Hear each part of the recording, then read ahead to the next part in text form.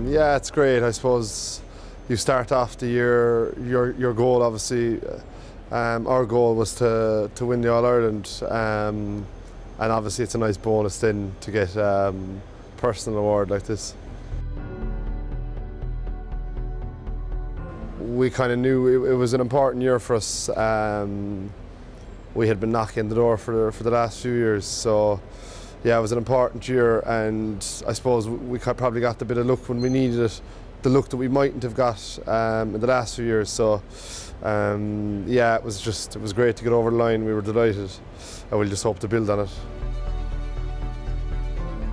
Sure, I suppose it's it remains to be seen. Like uh, we we know we can see how competitive it is, and it's going to be even more competitive next year. But um, look, I suppose we, we'll have ourselves up there with um, with the best um, so yeah, look, we'll, we'll hopefully be there thereabouts. We'll we'll be working harder again to um, to hopefully um, win another one.